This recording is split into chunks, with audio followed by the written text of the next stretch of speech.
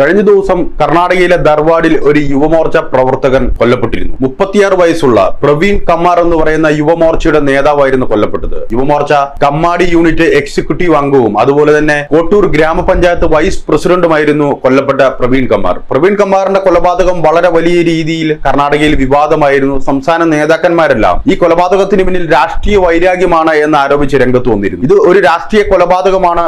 രാഷ്ട്രീയ എതിരാളികളാണ് അദ്ദേഹത്തെ കൊലപ്പെടുത്തിയത് എന്ന് ആരോപിച്ച് തേജസ്വി സൂര്യ പോലെയുള്ള യുവമോർച്ചയുടെ ദേശീയ അധ്യക്ഷനടക്കമുള്ള ആളുകൾ രംഗത്ത് വന്നിരുന്നു. ബി ജെ പി നേതാക്കന്മാരെല്ലാം ഇതിനെ ഒരു രാഷ്ട്രീയ കൊലപാതകമാക്കി മാറ്റുവാൻ വേണ്ടി ശ്രമിച്ചിരുന്നു. പക്ഷേ ഇപ്പോൾ പുറത്തു വരുന്ന റിപ്പോർട്ടുകൾ പ്രകാരം ഇതൊരു രാഷ്ട്രീയ കൊലപാതകമല്ല എന്നാണ് മനസ്സിലാക്കുവാൻ വേണ്ടി സാധിക്കുന്നത്. പ്രവീൺ കമ്മാറിന്റേത് ഒരു രാഷ്ട്രീയ കൊലപാതകമല്ല എന്ന നിഗമനത്തിൽ ഏകദേശം എത്തിക്കഴിഞ്ഞിരിക്കുന്നു. കർണാടകയിലെ ഒരു ക്ഷേത്രത്തിലുണ്ടായ ഉത്സവത്തോടനുബന്ധിച്ചുള്ള തർക്കമാണ് പ്രവീൺ കമ്മാർ എന്ന് പറയുന്ന യുവമോർച്ച നേതാവിന്റെ മരണത്തിലേക്ക് നയിച്ചിരിക്കുന്നത് എന്ന റിപ്പോർട്ടുകളാണ് ഇപ്പോൾ പുറത്തു വരുന്നത്. ധൻവാഡിലുള്ള ഉദച്ചമ്മ ദേവി ക്ഷേത്ര ഉത്സവത്തിനിടയിലുള്ള പ്രസാദ വിതരണത്തിനിടയിൽ തർക്കം ഉടലെടുക്കുകയായിരുന്നു ഈ പ്രസാദ വിതരണത്തിനിടയിൽ രണ്ട് വിഭാഗങ്ങൾ തമ്മിൽ അവിടെ ഏറ്റുമുട്ടൽ ഉണ്ടാവുന്ന സാഹചര്യം ഉണ്ടാവുകയും പ്രവീൺ ഈ ഏറ്റുമുട്ടിക്കൊണ്ടിരുന്ന രണ്ട് വിഭാഗത്തെയും അന്വയിപ്പിക്കുവാൻ വേണ്ടി ശ്രമിക്കുകയും ഏറ്റുമുട്ടലിൽ നിന്ന് അവരെ പിന്തിരിപ്പിക്കുവാൻ വേണ്ടി ശ്രമിക്കുകയുമായിരുന്നു. പക്ഷേ പരസ്പരം ഏറ്റുമുട്ടിക്കൊണ്ടിരുന്ന ആ ആളുകൾ പ്രവീണിനെ വളരെ ക്രൂരമായി അവിടെ കുത്തിക്കൊലപ്പെടുത്തുകയായിരുന്നു. പ്രവീണിന്റെ വയറ്റിലും ശരീരത്തിലും അടക്കം ആഴത്തിലുള്ള മുറിവുകൾ ഈ പ്രതികൾ ഏൽപ്പിച്ചു തുടർന്ന് അവിടെ നിന്ന് ജില്ലാ ആശുപത്രിയിലേക്കും പിന്നീട് മെഡിക്കൽ കോളേജിലേക്കും പ്രവീണിനെ കൊണ്ടുപോയെങ്കിലും ജീവൻ രക്ഷിക്കുവാൻ വേണ്ടി കഴിഞ്ഞില്ല.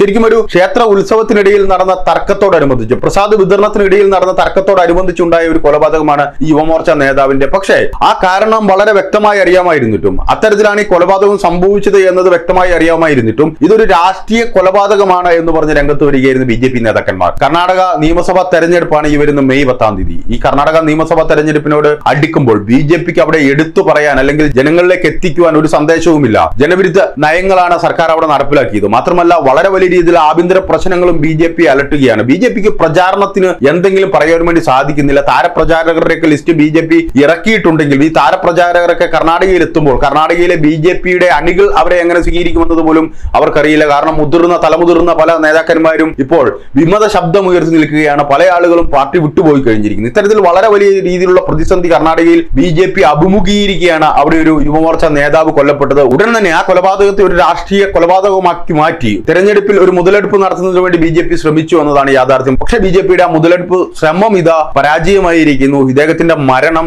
രാഷ്ട്രീയ കൊലപാതകമല്ല മറിച്ച് ഒരു ക്ഷേത്ര ഉത്സവത്തിനിടയിൽ ഉണ്ടായ തർക്കത്തെ തുടർന്നുണ്ടായ കൊലപാതകമാണ് എന്നത് ഏകദേശം തെളിഞ്ഞിരിക്കുന്നു. ഇതോടുകൂടി അപ്രതീക്ഷിതമായി തെരഞ്ഞെടുപ്പിൽ ബി ജെ പിക്ക് വീണ് കിട്ടിയ ഒരു രാഷ്ട്രീയ ആയുധം ഇല്ലാതായിരിക്കുന്നു എന്നതാണ് സത്യം.